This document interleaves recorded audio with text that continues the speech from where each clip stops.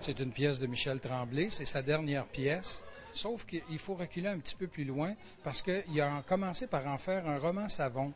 Euh, à la radio, euh, roman, oui, radio-roman plutôt, à la, radio de Radio-Canada, il y a quatre ans, cinq ans. Et il a écrit euh, une petite plaquette, un petit livre qui s'appelle également Bonbon assorti. Et la pièce vient de là.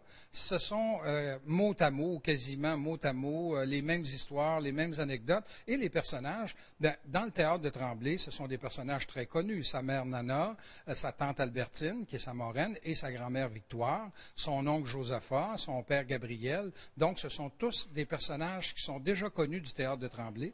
Ça raconte ce qui se passait dans la maison chez lui alors qu'il avait six ans.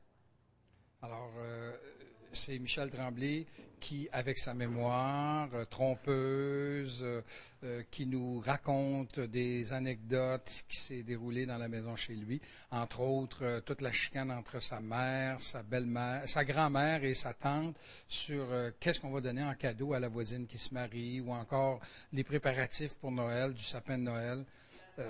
c'est des c'est très amusant, c'est et surtout avec l'imagination que Tremblay y. Comme il dit, euh, l'imagination, euh, c'est pas toujours vrai, parce que quand c'est vrai, c'est, c'est pas toujours intéressant. Donc, il a su rendre ça très intéressant. Et euh, on voit son père, son oncle Josaphat, on voit aussi la voisine qui va recevoir le fameux cadeau, parce que les trois femmes réussissent à trouver enfin un cadeau digne de ce nom pour donner, parce que c'est des gens qui sont à revenus très modestes mais ils veulent impressionner la, voisine pour donner un cadeau.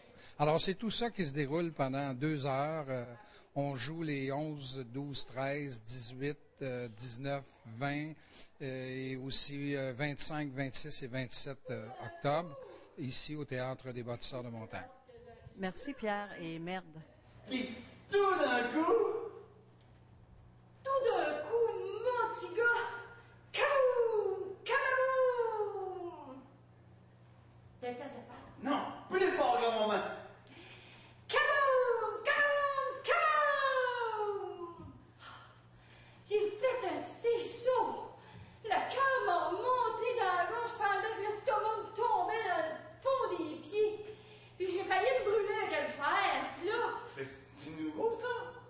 Quoi? Le fer, c'est nouveau, ça? Hey! C'est l'histoire que tu veux, mais la vérité.